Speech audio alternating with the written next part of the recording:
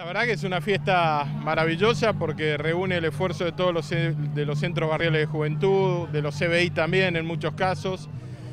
Y hoy además mostrando lo que han hecho a lo largo de todo el año. Hace seis meses que empezamos y la verdad estuvo muy copado porque no pensamos que se iba a armar un grupo tan lindo. Y terminamos teniendo más o menos los mismos gustos musicales. Y bueno, ahora estamos arrancando con algunos temas nuevos.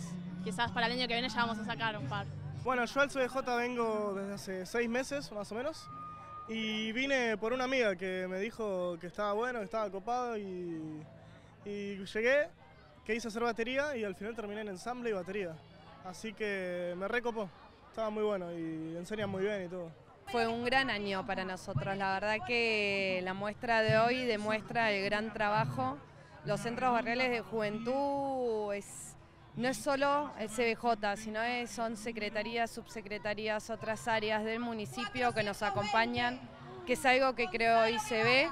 Ah, es, una sensación de, ir superándose, ¿no? de, ir empoderándose y a partir de ahí todo lo que se puede trabajar. Nuestra frase es se puede y a través de todos los talleres, a través de las muestras, ellos van generando y van teniendo cada vez más confianza en ellos mismos como para después poder enfrentarse a todos los desafíos que les trae la vida.